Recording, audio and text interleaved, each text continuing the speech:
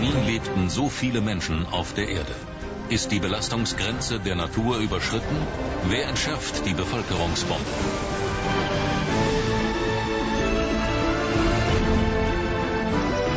Abenteuerforschung mit Professor Harald Lesch.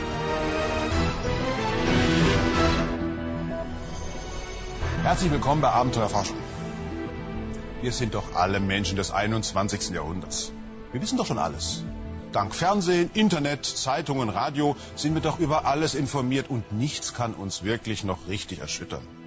Meine, man erzählt uns so viele Geschichten, vielleicht zu viele Geschichten, aber so viele Geschichten, dass wir über manche nur noch schmunzeln und äh, das meiste nehmen wir nur zur Kenntnis. Manchmal sind wir auch betroffen, aber im Großen und Ganzen läuft es so an uns vorüber. Und dann dann gibt es die Geschichten, wo man denkt, nee, das kann doch nicht wahr sein, das gibt's doch nicht. Nie im Leben, das muss erfunden sein. Und ich habe das vorher nicht gewusst, ich sage Ihnen ganz ehrlich. Es ist so irrsinnig. Schauen Sie sich's an, schauen Sie sich's an. Die Wüste Rub al-Khali in Saudi-Arabien. Sie gehört zu den trockensten Regionen der Erde. Doch ausgerechnet hier arbeitet man an der Verwirklichung eines Traums.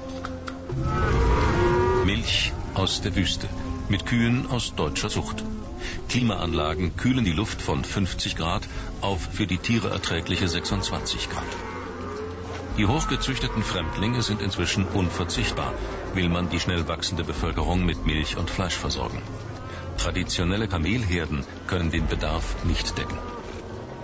Eine Kuh gibt bis zu 70 Liter Milch am Tag, mehr als doppelt so viel wie in Deutschland.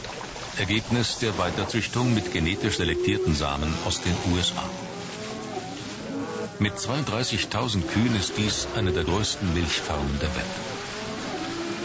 Einen Liter Milch zu erzeugen, erfordert 2500 Liter Wasser. Weltweit sind es im Durchschnitt nur 1000 Liter.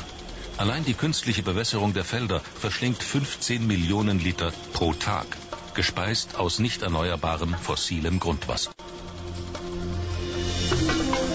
In weniger als 40 Jahren wird das Grundwasser verbraucht sein.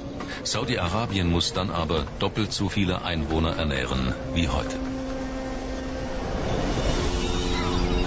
Shanghai. In der chinesischen Metropole leben 15 Millionen Menschen. 1990 wurde die Stadt zur Sonderwirtschaftszone erklärt und damit interessant für ausländische Investoren. Die Verdienstchancen sind verlockend. Mit dem gestiegenen Wohlstand hat sich das Konsumverhalten verändert.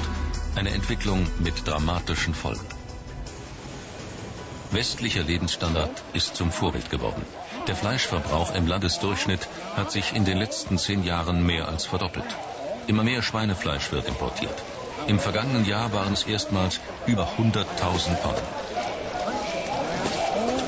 China muss 20 Prozent der Weltbevölkerung ernähren. Doch das Land verfügt nur über 7 Prozent der kultivierbaren Ackerfläche. Eine prekäre Situation. 1,3 Milliarden Chinesen müssen versorgt werden, Tendenz steigend. Mit konventionellen Anbaumethoden kann das Land aus eigener Kraft bei der Versorgung nicht Schritt halten. Selbst intensivste Bodennutzung bringt nicht genügend Ertrag. Und die Situation verschärft sich zusehends. Die rückhaltlose Ausbeutung und der Klimawandel führen zu Bodenerosion und Landverlust. Die große Sandwüste im Norden des Landes frisst sich immer weiter voran. Mehr als ein Drittel des Landes ist davon bedroht. Auch die Hauptstadt Peking gerät in Gefahr, im Sand zu versinken.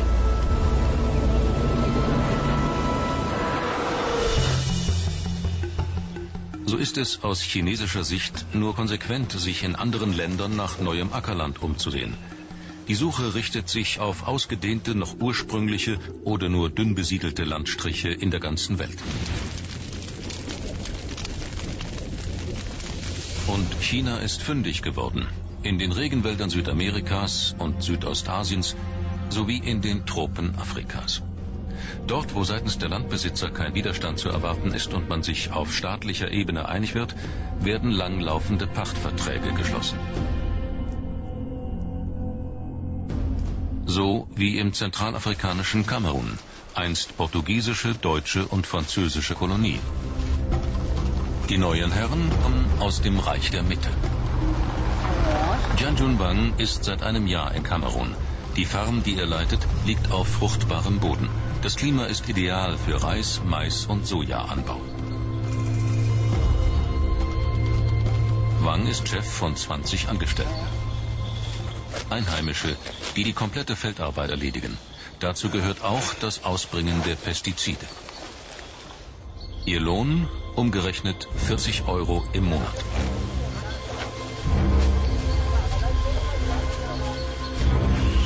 Die gesamte Jahresernte der 10.000 Hektar großen Farm geht nach China. China hat sich außer in Kamerun Land in Uganda, Tansania, Mexiko, Russland, auf den Philippinen und in Australien gesichert. Und China ist kein Einzelfall. Zu den größten Agrarkolonialisten zählen Südkorea, Japan, die Vereinigten Arabischen Emirate und Saudi-Arabien mit einer Fläche von insgesamt 8 Millionen Hektar. Eine globalisierte Landwirtschaft ist inzwischen Alltag, denn immer mehr Länder können die Ernährung ihrer Bevölkerung anders nicht mehr sichern. Doch der sich ausweitende Agrarkolonialismus birgt Sprengstoff. Denn ausgerechnet den ärmsten Ländern wird die Grundlage zur Selbstversorgung geraubt. Schon heute sind einige von Hilfslieferungen abhängig. Und in 20 Jahren werden gerade sie zu den bevölkerungsreichsten Ländern der Erde gehören.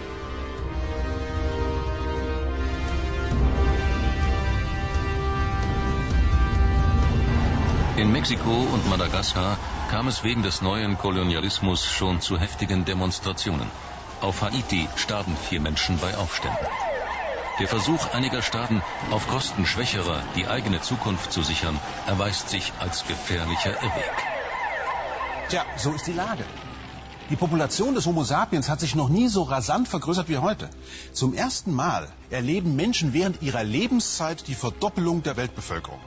Also, die Erhöhung der schieren Zahl der Menschen multipliziert mit dem erhöhten Anspruchsdenken des Einzelnen, das produziert die ungesicherte Bombe der Überbevölkerung. Und während wir uns über Mäuschenriesen Gedanken machen, übersehen wir den großen Elefanten. Das größte Problem auf dem Globus überhaupt, nämlich das noch 40 Jahre anhaltende Wachsen der Weltbevölkerung. Und da müssen wir mit Anstand und Würde hindurch. Wie kam es eigentlich zu dieser enormen Vermehrung? Ich meine, reproduzieren wir uns nur deshalb so gerne, weil es so großen Spaß macht, es zu versuchen, oder gibt es noch andere Gründe? In der Savanne des südlichen Afrikas lebt eine Gruppe von Menschen, für die Überbevölkerung kein Thema zu sein scheint. Nomaden. Nomadische Kulturen wie die San der Kalahari sind Jäger. Sie leben von dem, was sie umherziehend erbeuten. Und das seit Jahrtausenden.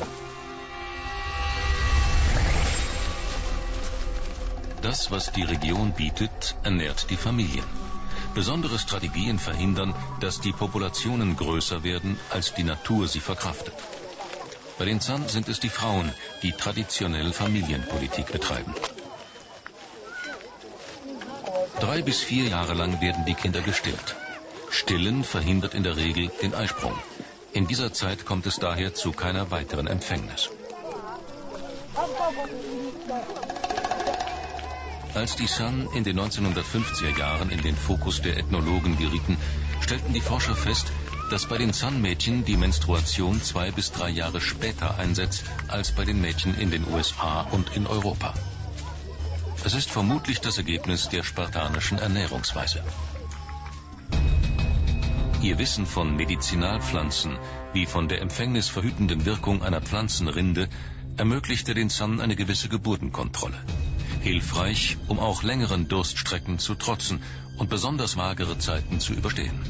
Ihre nomadische Kultur überdauert so schon Jahrtausende. Auch unsere Vorfahren lebten einst als Nomaden. Doch schließlich wurden sie Ackerbauern und Viehzüchter.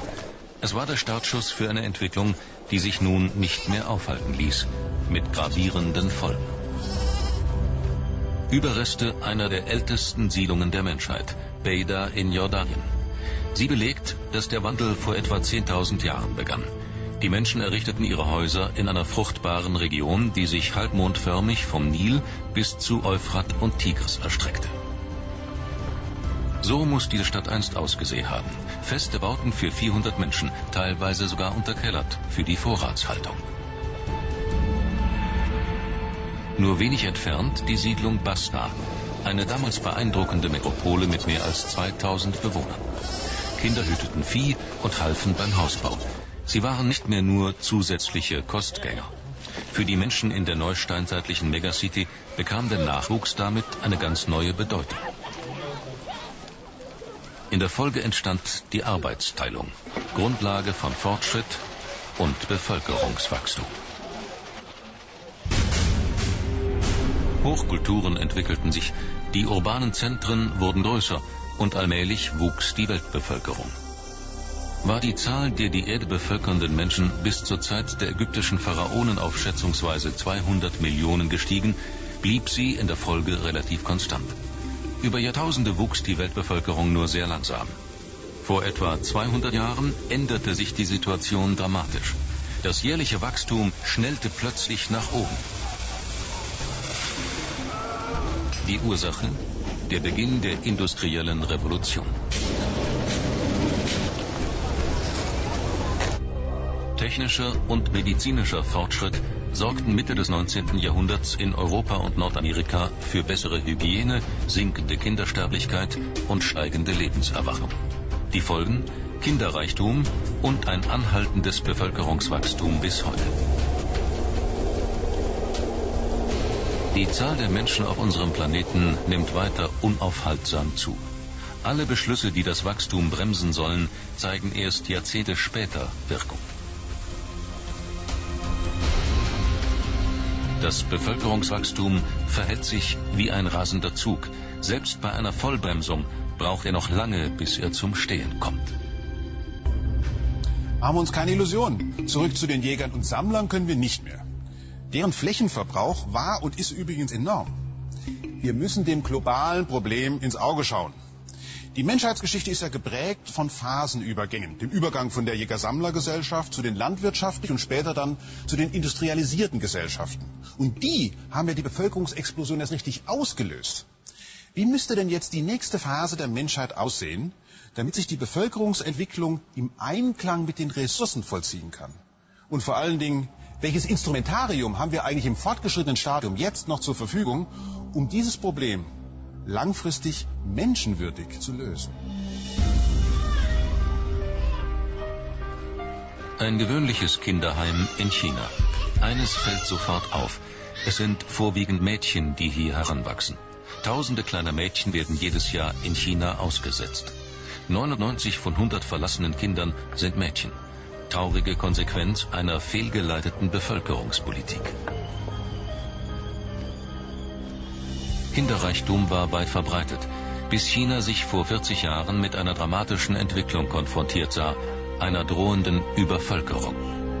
Um die Gefahr abzuwenden und im Vergleich zum Westen wirtschaftlich nicht zurückzufallen, verordnete China 1979 die sogenannte Ein-Kind-Politik. Jede Familie durfte mit wenigen Ausnahmen nur ein Kind haben. Die Wertschätzung männlicher Nachkommen in Chinas Gesellschaft veranlasste Eltern, auf das Geschlecht des einzigen Kindes Einfluss zu nehmen. Abtreibungen oder gar Tötung von neugeborenen Mädchen waren die Folge. Zählte man 1953 knapp 600 Millionen Einwohner, waren es Ende der 70er fast eine Milliarde. In nur 40 Jahren wäre die Zahl absehbar auf 2 Milliarden angewachsen. Deshalb entschied sich die Führung zu dem radikalen Schritt, die Geburten zu begrenzen. So verhinderte Chinas Führung drohende Hungersnöte und soziale Unruhen. In der gewonnenen Atempause gelang es tatsächlich, wirtschaftlich aufzuholen und einen Standard zu erreichen, der dem westlichen kaum nachsteht. Doch stellten sich unliebsame Begleitfolgen ein. Eine Generation von Einzelkindern wuchs heran, verwöhnt wie Paschas. Die Zahl extrem übergewichtiger Chinesen sprang auf 15 Prozent. In Deutschland sind es zum Vergleich 12 Prozent.